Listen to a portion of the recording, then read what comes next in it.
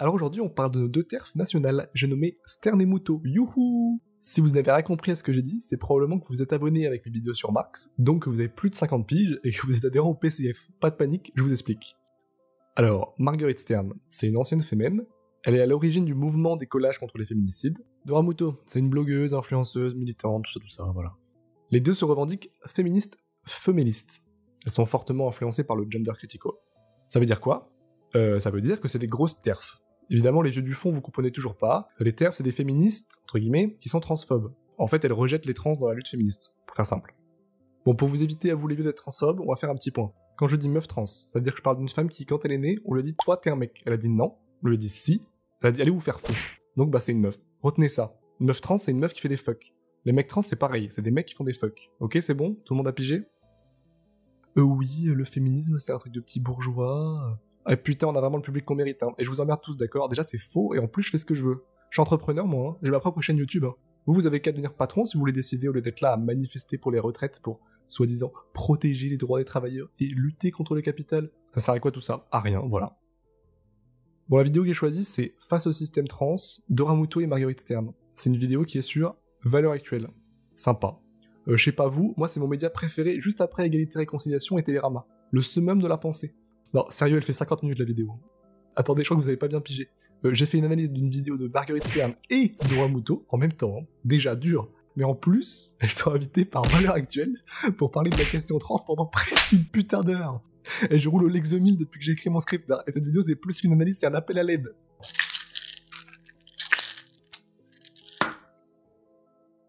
Ok, c'est bon, je suis calmé.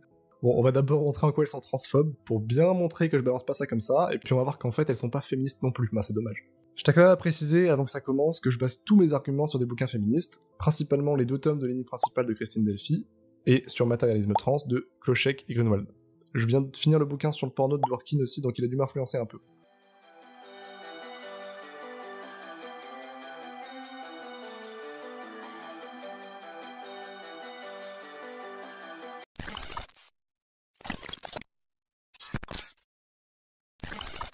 Euh, toi, euh, Dora, ça t'est arrivé sur le plateau de France 2. Euh, Jérémy Ferrari, euh, entre autres, t'as expliqué euh, en fait, et Mariko aussi. Mariko, donc euh, c'est une, euh, une- un homme euh, trans, femme, Monsieur Chaval femme trans. Monsieur-. Il y a un, un homme, Euh, C'est un femme, homme, c'est un- mâle, c'est un mâle transféminin, c'est un un homme. mâle transféminin. Voilà, c'est un homme qui dit qu'il est une femme trans. Bon. Bon là je pense que la transphobie de l'extrait elle est assez évidente, mais bon, je sais que j'ai un auditoire de vieux communistes, on va aller quand même, on va décortiquer ça. La base, c'est qu'une femme trans, c'est une femme. Muto, ça, elle le nie complètement, elle le remet en question, et elle euh, va dire que Mariko, la personne dont elle parle, au lieu de dire que c'est une femme, elle va dire que c'est un mâle transféminin. Pour vous, Mariko, par exemple, qui est en face de vous, on- je vous ai raconté son histoire. Mariko, c'est une femme pour vous ou non? Non, pour moi, Mariko, c'est un homme. C'est un homme transféminin. Ce qu'elle veut dire par là, c'est que c'est un homme qui veut être une femme, mais que il n'y arrivera jamais, puisque il est biologiquement mâle. En fait, si vous voulez, c'est un peu comme si je disais qu'une femme lesbienne n'était pas une femme à cause de sa caractéristique, qui est le fait qu'elle soit lesbienne. Alors, oui, c'est une caractéristique qui va probablement lui faire avoir certains rapports sociaux qui sont différents des femmes hétéros. Mais ça suffit pas à l'extraire de la catégorie femme. Bah, c'est pareil pour les femmes trans, en fait. Il y a une caractéristique qui est le fait qu'elles soient trans, mais en fait, au final, qu'on soit hétéro ou lesbienne, cis ou trans, bah, on se fait insulter de salope pareil. Putain, oui, c'est vrai. Euh, cis, c'est l'inverse de trans. C'est-à-dire que on t'a dit que t'étais une meuf quand t'es né, tu dis ok, ça me va.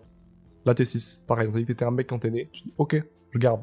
T'es cis, ok Voilà, mais la plupart des gens, je veux dire, même quand c'est extrêmement bien fait et qu'ils ont accès aux meilleurs chirurgiens, etc., je suis désolée, il y a toujours un petit truc qui met le doute. Les, les voix sont dures à changer, euh, les gestuels sont durs à changer, euh, la, la taille des poignets est dure à changer. Enfin, on peut pas le changer. Ouais. Enfin, je veux dire, Là, son argument, il se base sur le stéréotype que les trans, ils ont tous un mauvais passing. Alors, faut le savoir, tous, absolument tous. Le passing, c'est le fait d'être perçu comme on souhaite être perçu au niveau du genre.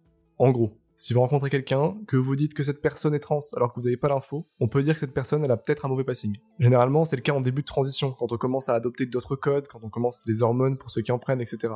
C'est un stéréotype, hein, mais ok, ok. Admettons que Dora, elle a raison, qu'il y a toujours un truc qui fait douter, qu'on a tous un détecteur à trans.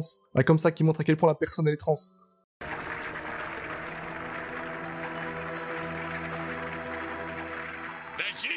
What does the scouter say about his power level? It's over 9,000! Ok, admettons, admettons. Lorsque là, on est en train de basculer dans une société qu'on pourrait appeler post-vérité, euh, où effectivement, on ne sait plus qui est un homme, qui est une femme, on ne sait plus si le contenu est fait par un humain ou par euh, euh, un AI. on sait, enfin, je veux dire, on est en train de basculer dans un monde où c'est vraiment plus très clair ce qui est de l'ordre du vrai et du faux. Non mais t'abuses Dora, moi je vous donne un point, je suis sympa, j'ai dit que j'étais d'accord avec vous, je vous soutenais quoi. Et maintenant Vous nous dites qu'en fait il faut s'inquiéter de plus pouvoir différencier. Putain mais votre détecteur à trans il est en panne ou quoi? Et fait chier hein. Fait chier, putain, comment on va faire? Je sais pas. C'est la merde. On va, se faire envahir, putain. On va se faire envahir. Je comprends qu'on ait envie de théâtraliser sa vie, euh, de vivre sa vie comme une expérience euh, artistique presque, parce que passer presque de l'un à l'autre, c'est une performance théâtrale, euh, qui peut en soi être intéressante. Bah ici, elle va considérer ça comme un jeu. Un jeu théâtral. En vrai, c'est intéressant. Voilà. Être trans, selon elle, c'est jouer. Alors, c'est bien beau, hein. Alors déjà, un, il y a du mépris. Vous, là, vous êtes trans, vous vous amusez, pendant que nous, les vrais féministes, on fait du sérieux, de la politique. Donc ça nie le fait que les questions trans puissent être conscientisées comme politiques. Euh, c'est un peu contradictoire au vu de la peur viscérale qu'elles éprouvent envers l'idéologie transgenriste, oulala. En fait, on peut voir ça aussi comme de l'infantilisation. Vous vous amusez, on fait du sérieux. Et votre amusement a des conséquences sérieuses sur la politique. En gros, les militants et les militantes sous le joug de la terrible idéologie renversent toute la porcelaine en jouant trap-trap. Putain, un peu de sérieux, merde. Et puis surtout, le, fait de voir ça comme un jeu, bah, ça nie les violences que peuvent subir les personnes trans. Ces violences-là, on peut les regrouper en trois grandes catégories. D'abord, il y a les violences liées à la transgression de genre. Alors ça, c'est pas réservé aux personnes trans en fait. Hein. À partir du moment où la société perçoit que tu transgresses les normes de genre, elle te punit. J'ai une étude par exemple sous la main qui montre que plus les femmes ont des personnalités masculines, et plus elles sont harcelées. Plus que les femmes qui ont des personnalités qui vont être plus féminines. Je vous mets ça en description. En gros, dès que tu commences à faire un truc un peu suspect, on se dit Oh là, mais qu'est-ce que tu fais toi? Et nous, on a un patriarcat bien ficelé, tu vas pas commencer à foutre la merde, hein Bam, punition. Il y a aussi les violences relatives au parcours de transition. Par exemple vis-à-vis de l'accès aux droits ou alors par rapport à la précarité qui accompagne les parcours trans, qui peut amener aussi à recourir à l'économie souterraine. A aussi la dépendance au corps médical. Si tu veux modifier ton corps, bah, il faut te plier au jugement des médecins pour avoir tes hormones, euh, ton opération si tu en veux. Et puis enfin, il y a les violences sexistes et misogynes. Et oui, bah, les femmes trans sont des femmes, donc elles ont droit aux remarques sexistes, aux mépris misogynes, au harcèlement sexuel, aux viols, aux agressions physiques, aux violences conjugales, c'est super. Bref, réduire tout ce bordel là, je comprends qu'on ait envie de théâtraliser sa vie, ah, c'est quand même un poil abusé. Je vous mets la suite de l'extrait qui est intéressant aussi passer presque de l'un à l'autre, c'est une performance théâtrale euh, qui peut en soi être intéressante si on le prend comme, euh, comme un projet de vie personnel. Par contre, euh, cette façon de voir le monde, on ne doit pas l'imposer à tout le monde, on ne doit pas faire entrer ça dans les lois, ça doit pas être des lois autour de l'autodétermination. mais si à titre personnel, on veut vivre cette expérience de vie, de transition, de chirurgie, etc., écoutez, grand bien vous fasse, mais venez pas nous l'imposer à nous. Vous avez compris les trans? Muto, elle dit vous avez le droit d'être trans, mais mollo, hein. Vous gardez ça pour vous. Vous commencez pas à vouloir des droits ou des trucs absurdes comme ça, n'importe quoi. On est où là? Et ce serait bien si vous excusiez aussi de nous faire subir la violence de votre existence. Déjà, on est sympa de vous tolérer, alors. Non, sérieusement, euh, je, vais pas passer des heures à débunk cette merde. Remplacer le mot trans par homo, lesbienne, noir ou que sais-je dans sa phrase, vous allez saisir assez facilement le caractère transphobe de l'affirmation. C'est aussi une idéologie euh, qui pousse euh, des gens qui peuvent éventuellement être euh, voilà, homo à transitionner. Ok BFM. Bon, du coup, la méchante idéologie transgenriste pousse les homos à transitionner. Ok, je note. Nouvelle-Zélande, en fait, il y avait dans toutes les écoles des cellules pour accueillir les enfants trans. Et donc, voilà, que n'importe quel enfant qui se ressentait trans, non-binaire, tout ça, euh, pouvait euh, aller dans cette cellule et donc euh, serait accompagné dans le cadre de sa transition. Donc en fait, là, on parle vraiment de, prosélytisme à l'école, quoi. Oh putain, le prosélytisme à l'école, ah quand même on le voit, il y a un phénomène de contagion sociale sur les réseaux sociaux, notamment en France en tous les cas. Depuis le confinement, on a beaucoup de témoignages en fait d'adolescentes dont certaines en sont déjà revenues, heureusement pour elles, mais dont certaines sont encore bloquées dans ces mécanismes d'emprise sectaire. Ah ouais, quand même, euh, en prise sectaire, ça rigole pas. Hein. Même si euh, donc certains enfants ou adolescents, euh, enfin tous vont pas transitionner, il y en a quand même beaucoup qui, à cause de l'emprise, enfin sur les réseaux sociaux, TikTok, tout ça, adhèrent à cette idéologie. Et donc euh, finalement, enfin, perdre complètement euh, prise avec euh, la réalité, avec des principes biologiques de base, comme le fait que les femmes sont des femelles et les hommes sont des mâles. Et en fait, je pense que réellement, quand on se construit sur ce type de d'idéologie sectaire qui relève plus de la croyance religieuse que de, des connaissances scientifiques, ce qu'on est censé apprendre au collège. hein. Et ben voilà. Vous saurez maintenant que si vous pensez que femme et homme, c'est pas des catégories biologiques mais sociales, bah vous avez un niveau collège. Par exemple, Christine Delphi a un niveau collège. Et puis vous êtes sous emprise religieuse et sectaire aussi, oubliez pas. Hein. Il y a beaucoup d'associations euh, qui sont financées, enfin il y a tout un système euh, qui est mis en place, financé par l'industrie pharma, etc. Donc bon, Je suis dans le complot comme Big Pharma. Attends, mais elle est en train de faire une analyse du capitalisme là ou je, je rêve? Bah, C'est le plus beau jour de ma vie. hein. Elle va dire que le capitalisme s'empare de tous les marchés possibles. Ça va lui permettre de lier le capitalisme au patriarcat. Elle va sûrement parler de la pilule par exemple, qui est un super exemple pour comprendre que certaines avancées dans une lutte sociale précise, ici le féminisme, peuvent être accaparées par un autre mode de production. Mais c'est super parce qu'elle va aussi pouvoir nuancer son propos en disant que ça reste malgré tout une avancée féministe majeure et que c'est très important de la considérer comme telle. Euh, c'est- pas juste de la justice euh, sociale en face, c'est c'est aussi euh, quelque chose d'extrêmement organisé pour implémenter cette façon de penser. Ah bah non. C'est pas le capitalisme, c'est des gens, on sait même pas qui, qui s'organisent pour implanter une manière de penser dans la société. Putain, je crois qu'il y a un mot pour désigner cette façon de penser. Ah, mais je sais plus ce que c'est. Je vais peut-être être taxée de, de complotiste. Ah oui, c'est ça Merci Stern, c'est cool, j'avais oublié. Euh, ce serait bien que le corps médical se pose aussi euh, la question de pourquoi cette dysphorie de genre. Et se rendre compte que finalement, souvent, la dysphorie de genre, elle est liée à une misogynie internalisée ou à une homophobie internalisée. Alors là, Stern est là. Oui, mais je comprends les douleurs des personnes atteintes de dysphorie, c'est de la misogynie internalisée. On va pas s'attarder ici sur la dysphorie, sachez juste que ce concept est controversé. Mais euh, punaise, euh, vous passez vos vies à aller de plateau en plateau de médias de plus en plus réac, c'est le concours, hein, du média le plus réac possible, pour dégueuler votre haine sur les trans. Mais elle est où la lutte féministe là? Ouais, ce qui est intéressant, c'est que euh, vous parlez euh, de ramener la femme euh, à son écologie intérieure, c'est-à-dire le fait qu'elle ait, euh, bah, a une part d'animalité, enfin l'être humain en général, Regardez, le journaliste il sort une dinguerie tellement grosse que même lui se rattrape. c'est-à-dire le fait qu'elle ait, euh, bah, a une part d'animalité, enfin, et, enfin, et, enfin l'être humain en général, Et putain, mais regardez comment Moutou elle répond. En fait, le, le problème, ce qu'on nous reproche aujourd'hui, il y a beaucoup de femmes qui vont dire Moi, je suis d'accord avec vous, mais vraiment le terme femelle, femélie, je ne veux pas, je ne suis pas une femelle. un On a concept beaucoup. scientifique. pour- enfin, en fait, euh, ça, ça ramène beaucoup de femmes à cette notion d'animalité qu'elles rejettent. euh, lorsque, ben, on est tous des animaux, euh, enfin, je veux dire, tous les humains sont des animaux, nous sommes des mammifères. Euh, nous pensons justement que euh, dans, un, enfin, dans une époque où on a besoin justement euh, d'écologie, eh bien, euh, se rapprocher de la biosphère, ce serait pas trop, et se considérer euh, dans un écosystème, et donc se considérer soi-même euh, comme un animal intelligent, c'est absolument pas une insulte. Alors, moi je vous avoue qu'au premier visionnage, je m'attendais quand même à ce qu'elle le reprenne un petit peu. Genre, frérot, là, tu forces. Mais non, elle dit juste, je comprends pourquoi ça dérange les femmes, mais je suis d'accord avec toi quand même. Mais c'est même pas qu'elle a passer le truc là, elle va dans son sens. Elles sont tellement transphobes qu'elles en oublient d'être féministes, c'est n'importe quoi. Justement, c'est là-dessus que je vais aller. Voilà, c'est assez évident qu'elles sont transphobes. Et ce de plein de manières différentes. En revanche, elles justifient leur transphobie en opposant la question trans à la question féministe. L'avancée de l'un serait le recul de l'autre.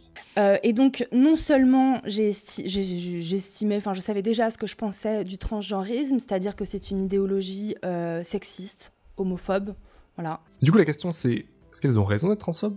Peut-être que théoriquement ça se justifie. On sait jamais, hein. Regardez, moi je suis ouvertement Jeff Bezosophobe à cause de mon marxisme aigu en phase terminale, donc c'est possible.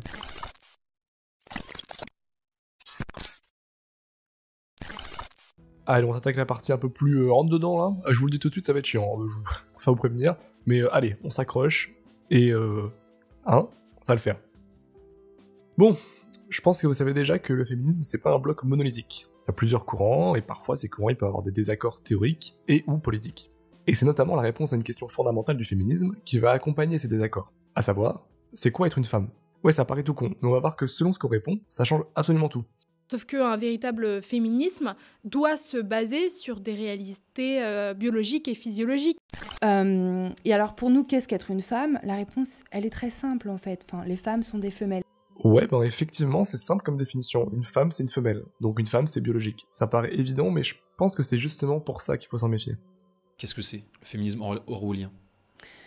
Bah, c'est un nouvelle branche du féminisme, c'est un féminisme qui a perdu pied avec euh, la réalité. En réalité, Enfin, voilà, c'est un féminisme euh, euh, qui ne connaît plus euh, les réalités biologiques. Donc, comment on peut parler de féminisme si on ne peut même plus définir ce qu'est une femme? Il y a quelque chose de, on plane là euh, complètement.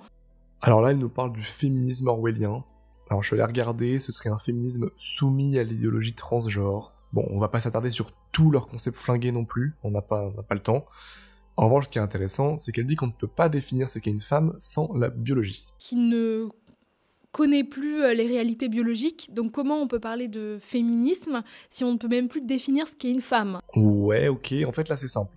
Euh, soit elle est malhonnête, soit elle est ignorante. Ça fait quand même bien 40 piges que les féministes font un travail pour débiologiser la définition du concept de femme. Là, elle nous présente le truc genre, si la définition est pas biologique, bah y a pas de définition. Alors, ben si, il y a un truc qui s'appelle le social, et il se trouve qu'on peut définir socialement ce qu'est une femme.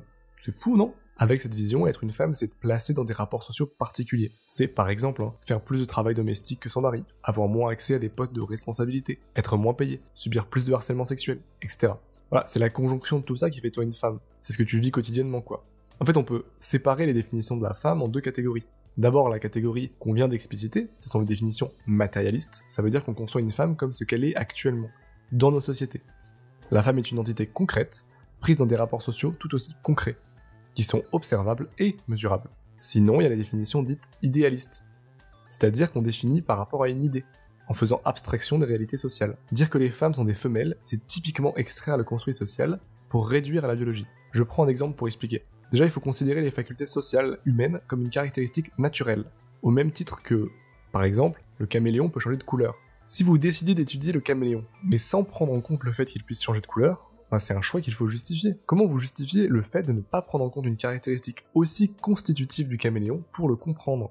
Ben c'est pareil pour l'humain. Comment vous justifiez le fait de ne pas prendre en compte le social pour le comprendre? Pour résumer une position biologisante, on peut aussi appeler ça une position différentialiste. Cette position dit les catégories homme-femme se basent sur les catégories biologiques mâle-femelle. Et une position matérialiste dira les catégories homme-femme sont sociales, donc construites. Le sexe biologique n'est qu'un marqueur permettant de ranger dans telle ou telle catégorie. Il n'a du sens que parce que on lui en donne. La question qui se pose, c'est il y a euh, entre les individus, il y a euh, un nombre de différences incalculables, incalculables. Euh, si on faisait la somme de toutes les différences que deux individus ont entre eux, ça remplirait euh, un livre, hein, parce que c'est pas seulement la couleur des yeux, la forme du nez, la longueur des bras, la, euh, forme des ongles, de pieds, de mains, de ceci, de cela, la, longueur des cheveux, la différence entre la taille et le nombril, la grosseur des seins, etc. Donc, le sexe, la forme du sexe est une de ces différences.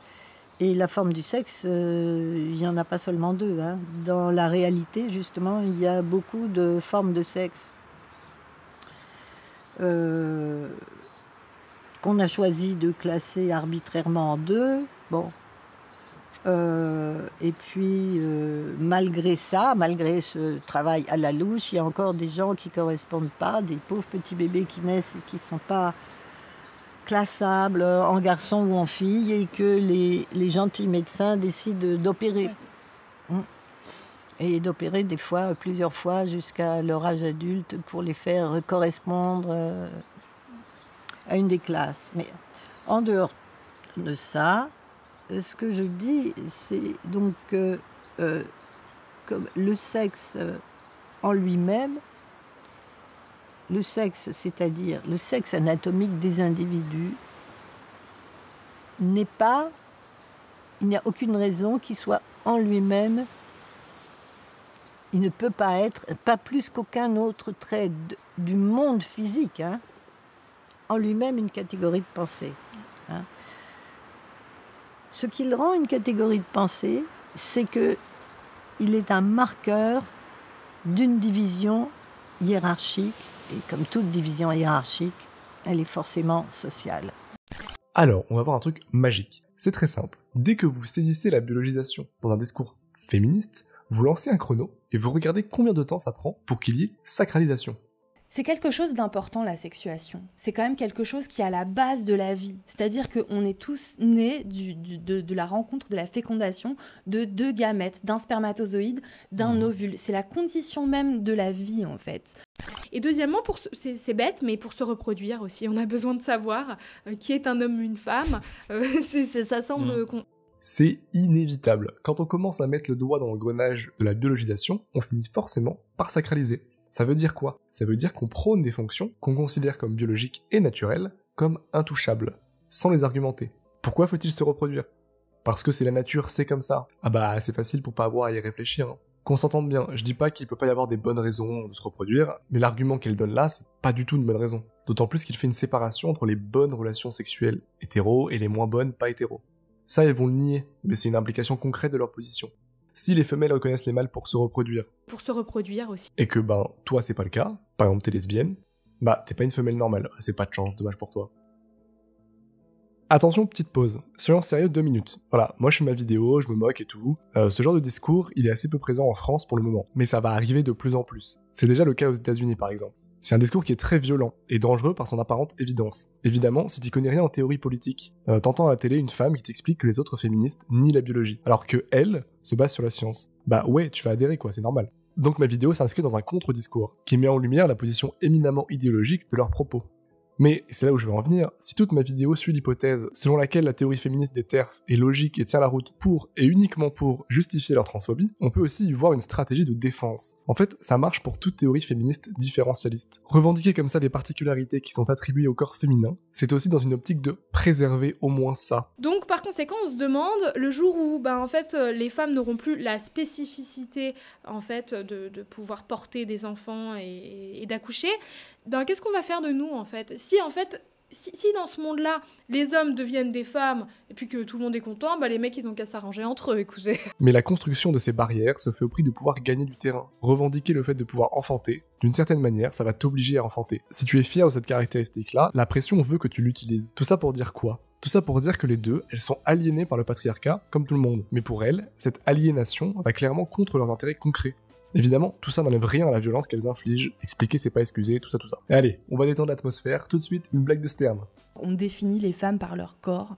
Voilà, on se revendique matérialiste philosophiquement. Non mais là, là, je sais pas quoi dire. Les bras m'en tombent. Elle, elle a dit, on définit les femmes par leur corps, on se revendique matérialiste philosophiquement.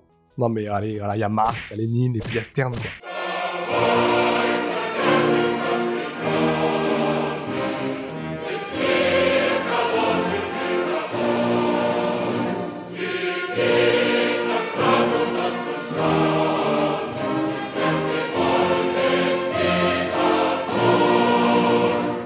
Ah c'est beau, c'est beau. Non sérieux, celle-là elle est magnifique. Je la garde. Non mais j'en ris pour pas en pleurer, hein. Sauvez-moi, sauvez-moi. Euh, et alors pour nous, qu'est-ce qu'être une femme? La réponse, elle est très simple en fait. Enfin, les femmes sont des femelles. Bah voilà, une magnifique démonstration de matérialisme dans toute sa splendeur. Non mais... pff, je sais pas quoi dire, c'est une, cat- une catastrophe, je vais pleurer. Ça rend complètement avec tous les travaux matérialistes effectués aujourd'hui, et ce depuis plus de 40 ans en matière de féminisme. Euh, la confusion elle est totale là, c'est n'importe quoi. Les deux là, elles passent leur temps à avoir des propos qui sont biologisants, et donc qui sont idéalistes, pour qu'au final Stern nous dise qu'elles sont matérialistes. Mais c'est c'est n'importe quoi, c'est n'importe quoi. Attention, je tiens à préciser quand même que quand je parle d'idéalisme, je parle toujours du courant de philosophie. Ça veut dire que je suis pas en train de les disqualifier d'un revers de main. Euh, Platon, Berkeley, Kant, Hegel par exemple, sont des philosophes idéalistes. Euh, c'est pas de la crotte de rat leurs travaux quand même. hein. Là où je veux en venir, c'est qu'être idéaliste en soi, c'est pas un problème, mais c'est une position théorique qu'il faut justifier et surtout assumer. Mais je suis enclin à leur laisser une chance, pourquoi pas? Comment est-ce qu'elles définissent le genre? C'est une bonne question. Et c'est à l'inverse, euh, le mouvement euh, transgenriste, lui, enferme les femmes. Parce que quand on dit que être une femme, c'est un genre et pas une réalité biologique, qu'est-ce qu'on dit?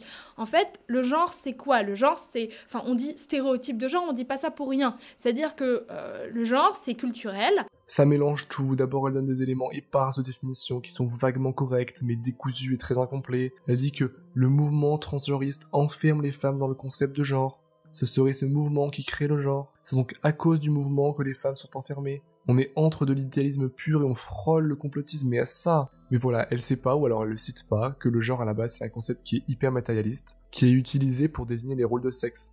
Voilà, on utilise le genre pour comprendre la division sociale en catégories homme-femme. Ça, elle n'en parle pas. Pourtant, c'est la base de la base de l'approche matérialiste du féminisme. Pareil, le concept du patriarcat, ça vous dit un truc?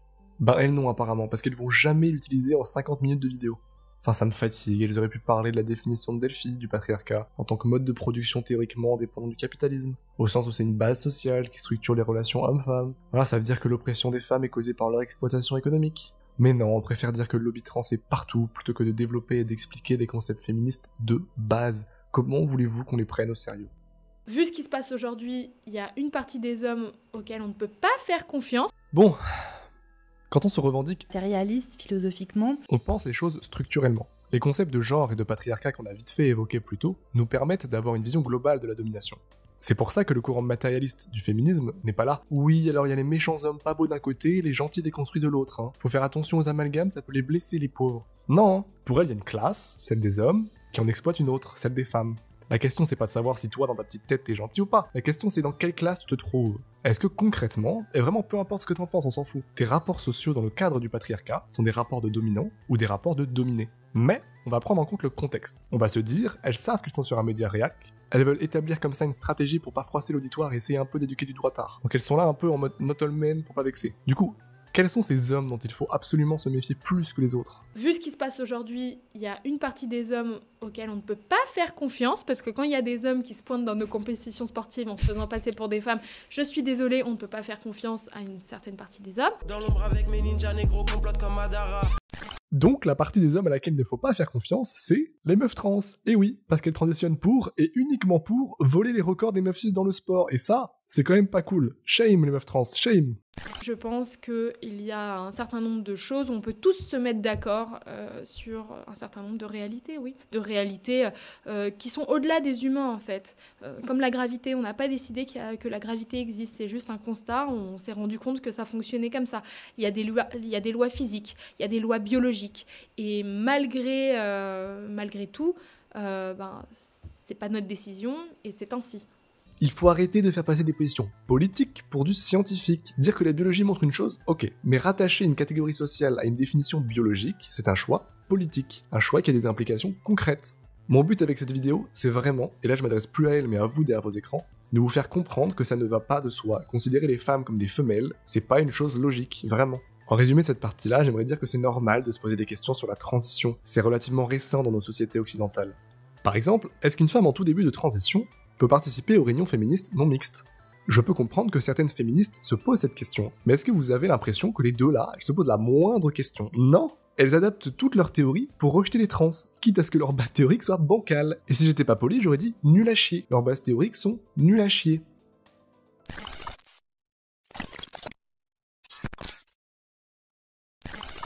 Allez, je suis de bonne humeur aujourd'hui, je vous fais une petite séance de lecture de commentaires, ça va être super.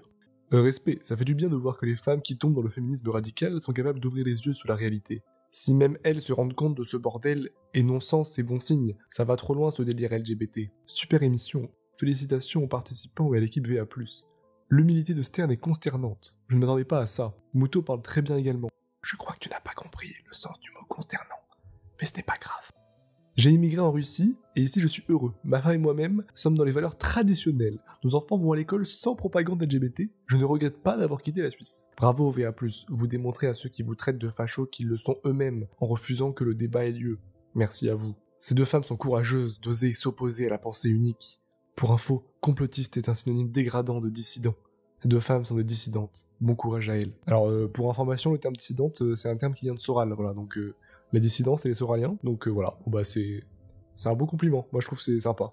Je suis pour une reconnaissance biologique. Une femme, une mère, un homme, un père, sexe féminin et masculin. Le reste n'est basé que sur du mensonge et à l'encontre des règles naturelles. Le reste n'est basé que sur des règles individuelles. Dans ce cas-là, même sur les sites de rencontres, alors que l'on sait ce que l'on recherche, on ne peut plus être sûr de la personne que l'on a en face.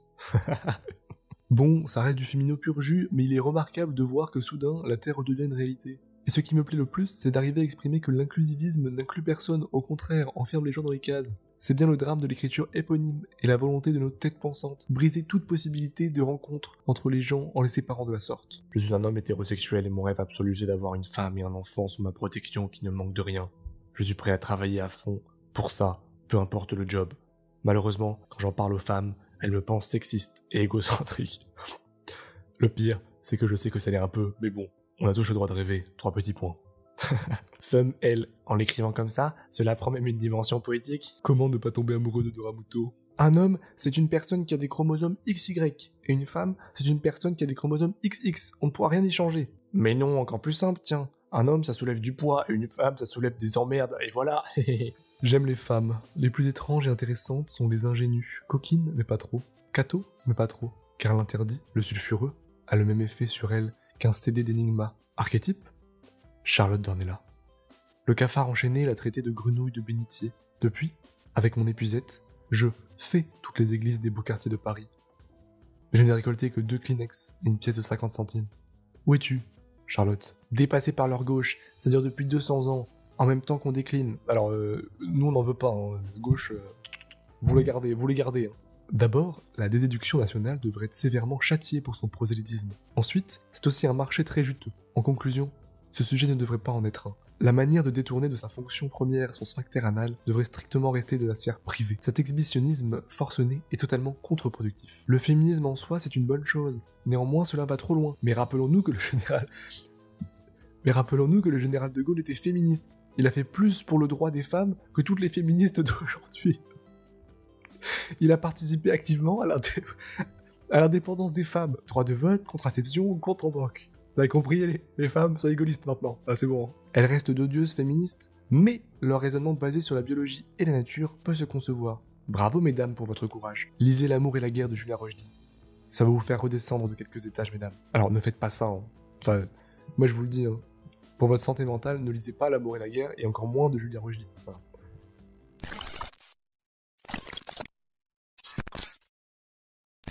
Putain, c'est enfin fini.